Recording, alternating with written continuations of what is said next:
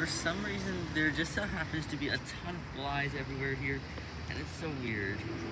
How could there be so many flies? I started seeing them when I just started venturing out to see where you parked the car. And I don't know why.